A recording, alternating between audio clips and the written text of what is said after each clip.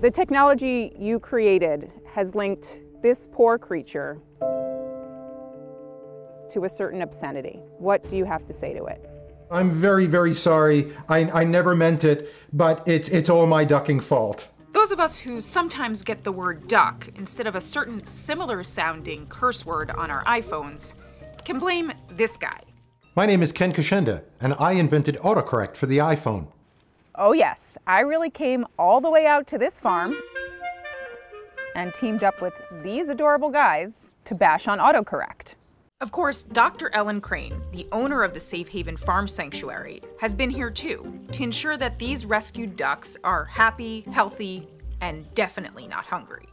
Okay, fine. I really came out here to answer two questions. Why, in certain situations, does Apple's software autocorrect something when you clearly meant to type something else? And number two, has Apple software gotten worse with time? That's why I tracked down Ken. He spent 15 years working in Apple and even wrote a book about his experience of working on the iPhone.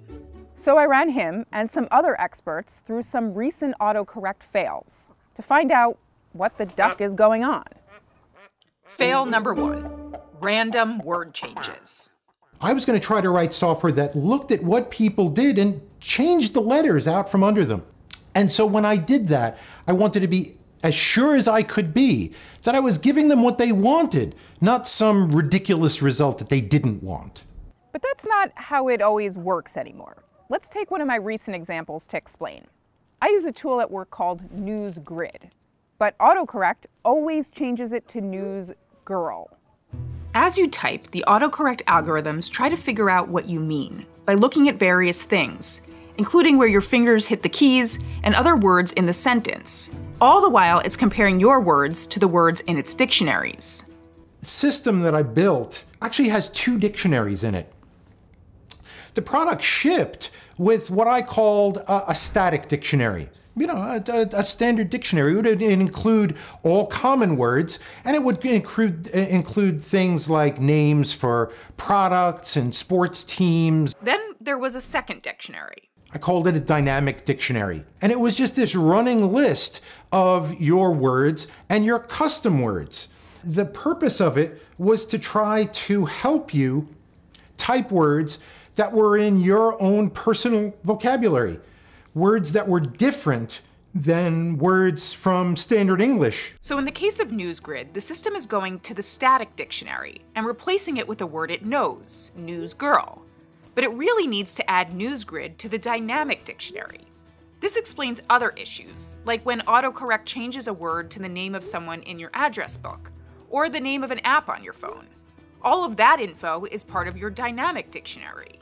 And so then from that point forward, the static dictionary and the dynamic dictionary would be kind of in a little bit of a battle with each other. And it was the ultimate jobs of, uh, job of the autocorrection software to break ties, after you type a word more than two times, the system is designed to learn that word and stopped correcting it any further. With NewsGrid, that hasn't exactly happened. Apple said different capitalization could impact that. But here's how you can fix an error like that for good.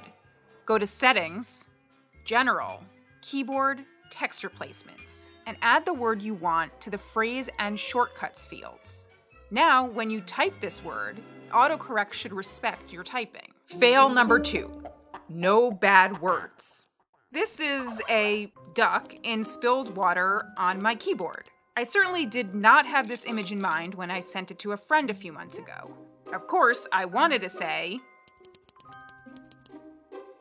Here's why that happens. I promise you, on the original iPhone, that if you typed a certain four letter word that begins with F, if you typed it exactly, the keyboard would leave it alone. So you could have your cusses. But if you missed one of those letters, it wasn't going to correct to the cuss word. Apple did that because it didn't want you to ever mistakenly type a curse word or slur or another inappropriate word. And so I had to do a study to go out and, and, and find all the terrible things that people would say and actually put them in the static dictionary but with a special mark on them to say, never help anybody type these words. If they type them exactly, okay. But if they make a mistake, don't use autocorrect to nudge somebody towards saying something awful. So, what can you do about this? Well, you can type your bad words correctly. Get this bug. You can also add those words to that dictionary or your contacts list. Bye bye, ducks. Fail number three grammatical errors. I ran Ken through a couple of recent ones I've seen. Sometimes I'll type W E L L, well, but it becomes wheel, W E apostrophe L L. Well and wheel is particularly challenging because both of those are really uh, common words. My decision back then was you needed to type the apostrophe in order to get wheel. Sometimes the system changes in to on, or they're just strange suggestions like ands. Over time, the system Ken built became more sophisticated and aggressive, correcting words based on the previous words in a sentence. Complex machine learning based on what people have been typing on the internet gave the system lots of new data on what people might be trying to type. In iOS 15, it's now learning from what users type on their iPhones, though it's all designed in a privacy respecting way. It's an interesting challenge because a lot of times words, new words, come into the language. You know, with the idea that you're going to train a, you know, essentially a web crawler to go out and look at the words that are that people are typing typos are going to get into the system. And so, how do you get them out? Well, it's probably uh, you know a, a, process that humans are going to have to go uh, after the fact and clean those things up. So, what can you do? One option: not use Apple's keyboard at all. You can download a third-party option from the App Store, like Google's Gboard. One called Typewise is pretty wacky, but I love that it has an autocorrect undo button right on the keyboard.